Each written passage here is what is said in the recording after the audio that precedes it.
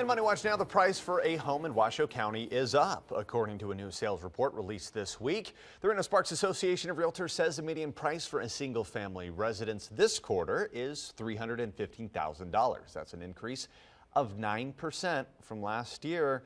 The same report showed similar increases in Reno and Sparks individually. In Reno, the median home price was $327,000, up 7% from last year. And then in Sparks, that number was 287,000, up 4% from last year. For a closer look at that full report, just go to ktvn.com and check out the online version of this story.